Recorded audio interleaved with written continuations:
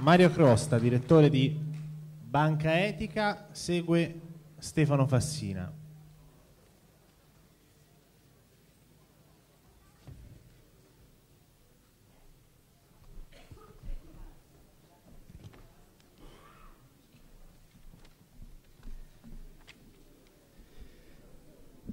Buongiorno a tutti. Tema della finanza speriamo ecco, non agevoli più eh, la, la, pausa per il pranzo, ma crediamo sia un argomento importante. Siamo contenti di essere stati invitati oggi a, eh, a portare alcuni argomenti eh, che, eh, sui quali noi eh, ci, ci battiamo da molto tempo argomenti che pensiamo debbano entrare ancora di più rispetto a quanto è successo in passato nell'agenda della politica. Quindi il compito eh, e il ruolo che vogliamo dimostrare, vogliamo attuare oggi con questa nostra presenza è quello di porre all'attenzione della politica, così come facciamo eh, usualmente, le tematiche che sono proprie di un modo eh, eh, di fare finanza, di un modo che è comunque e che riteniamo sia del tutto legittimato a fare, eh, a fare finanza.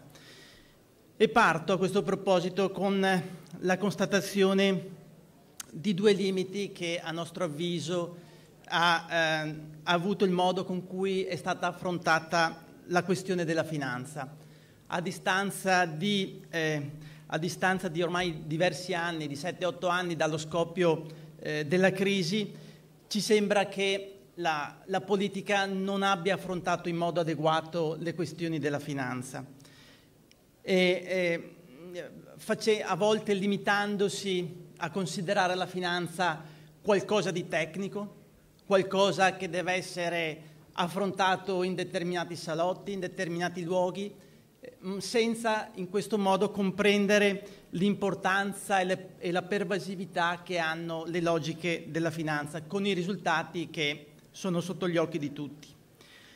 Dall'altro lato il secondo limite che vediamo è lo scarso riconoscimento di quella che noi, a noi piace chiamare la biodiversità nel mondo bancario e nel mondo della finanza.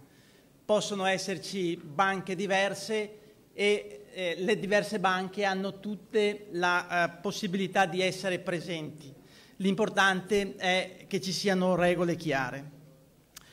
Compito della finanza etica è dare risposta fondamentalmente ad una questione. Dare risposta e dare la possibilità alle persone di decidere, di sapere cosa succede del proprio denaro, cosa succede del proprio risparmio Esistono ormai diverse ricerche, diverse analisi che mettono in evidenza eh, l'importanza dell'impatto sociale che hanno le azioni economiche e le azioni della finanza. Nel nostro statuto parliamo delle conseguenze non economiche delle azioni economiche, che ci sono e sono eh, molto, eh, molto forti. Questi due limiti la, eh, il, non, il, non, aver completamente affrontato le questioni della, della, finanza e il mancato riconoscimento di una biodiversità, crediamo sia uno degli elementi che porta ancora adesso alla difficoltà di indicare strade per uscire dalla crisi. Lo si diceva prima, non si esce dalla crisi con qualche pannicello caldo, servono degli interventi che devono essere degli interventi strutturali.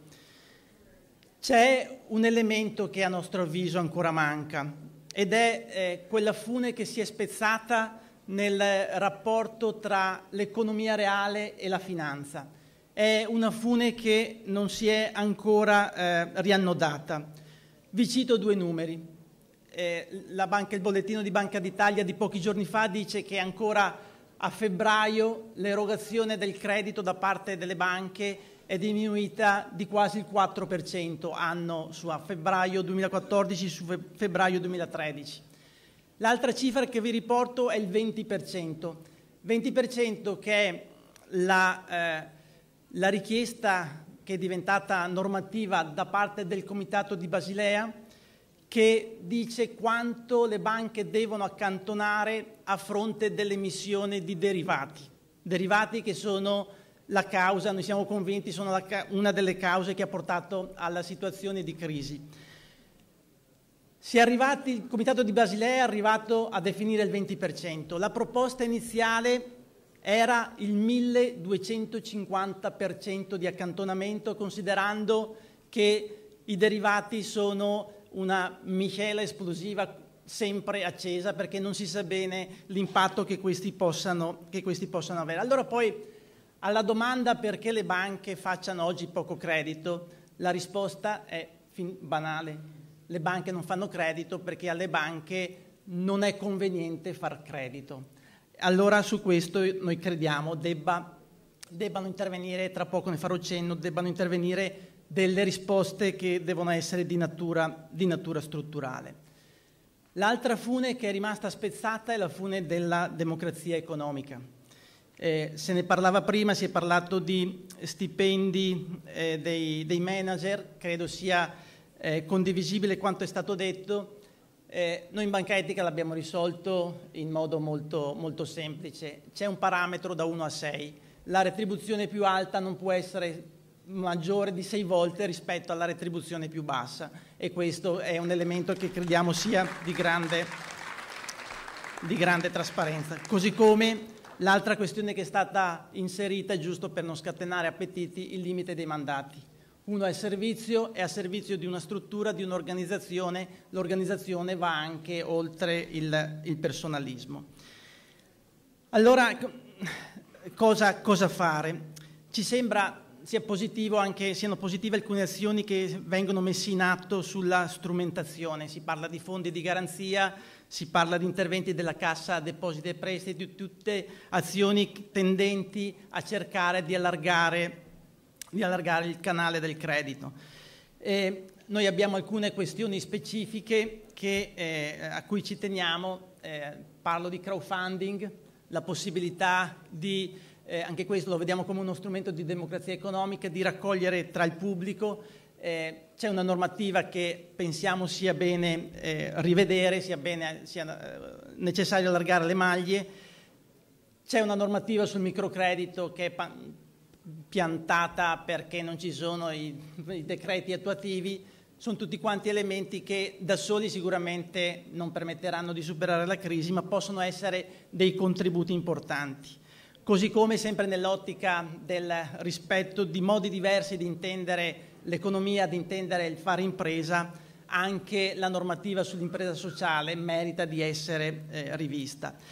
Però detto questo, eh, crediamo che limitarsi a questi interventi sarebbe come mettere benzina in una macchina che ha il motore che non funziona più.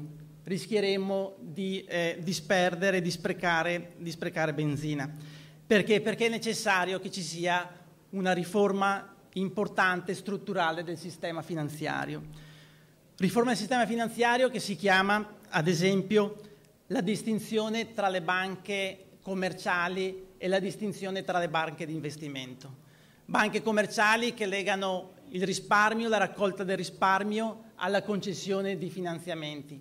Non diciamo che le banche di investimento non devono esistere, ma devono avere regolamentazioni diverse, anche perché nel caso, nel caso in cui una banca vada male non si capisce perché qualcuno che ha voluto speculare eh, debba essere risarcito con i soldi, come è successo con i soldi della, della, della socialità. L'altro elemento importante, il riconoscimento eh, delle banche che hanno una valenza sociale. Oggi eh, chi fa questo tipo di attività è ancora più penalizzato dalle banche che vogliono concedere credito.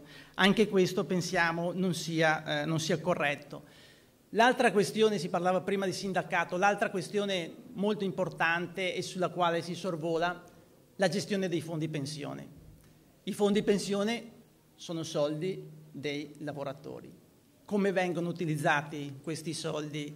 Perché non possono essere utilizzati anziché per attività speculative, per investire in fondi, in banche che danno peraltro anche scarsi rendimenti? Perché non possono essere inseriti in percorsi che favoriscano lo sviluppo e che favoriscano l'economia reale? Stiamo parlando peraltro di una somma solo relativa ai fondi negoziali di 35 miliardi di euro. Quindi sono risorse enormi che potrebbero essere eh, messe a disposizione dello sviluppo, eh, dello sviluppo dell'economia. È nostra consuetudine, in occasione delle scadenze elettorali, presentare un appello ai, eh, ai candidati. Lo facciamo anche questa volta, cito solo i sei punti che costituiscono l'oggetto di questo appello che viene fatto peraltro a livello europeo perché Banca Etica partecipa a FEBEA, che è una federazione delle banche etiche alternative a livello europeo. L'appello appunto verte su sei questioni. Prima questione, la tassa sulle transazioni finanziarie. Nell'ottica di diversificare la, la tassazione crediamo sia necessario. In Italia è stata applicata, è stata applicata male, c'era un emendamento nella legge di stabilità che prevedeva di tassare le operazioni in derivati e questo Parlamento ha cassato questo tipo di proposta. Non va bene. Crediamo che eh, nell'ottica di reperire risorse pubbliche le attività speculative debbano avere un trattamento che non può essere certo un trattamento di favore. La seconda questione che poniamo all'attenzione dei candidati alle, alle elezioni, lo citavo prima, la distinzione tra le banche di investimento e le banche commerciali possono coesistere, devono avere regolamentazione, devono avere la, eh, l'applicazione di leve fiscali diverse. Terzo punto, il riconoscimento delle banche a valenza sociale, avere una eh, legislazione che eh, contempli questo è a nostro avviso importante. Quarto punto, la lotta ai paradisi fiscali. Non si capisce perché i paradisi fiscali che nella migliore delle ipotesi sono eh, eh, dei canali che aiutano l'elusione, molto spesso invece sappiamo bene cosa c'è dietro e cosa passa nei paradisi fiscali, non si capisce perché debbano continuare ad esistere. Quinto punto, una regolamentazione su quella che viene definita la, l'attività di shadow banking. Ci sono una serie di eh, attività parabancarie che, fanno, che simulano l'attività bancaria senza dare tu, giusta tutela ai risparmiatori e ai cittadini, crediamo sia necessario venga fortemente regolamentata e poi il punto di cui parlavo prima, il punto sui derivati, eh, eh, con, che messo assieme all'applicazione della tasa sulle transazioni finanziarie crediamo eh, potrebbe eh, rischiarare l'orizzonte del, dell'attività bancaria, dell'attività finanziaria, fatto in questo contesto a livello europeo, livello in cui potrebbe avere eh, sicuramente più pregnanza eh, rispetto al fatto di farla a livello nazionale. Vi ringrazio dell'accoglienza e spero che i parlamentari candidati sottoscrivano questo appello che abbiamo predisposto. Grazie.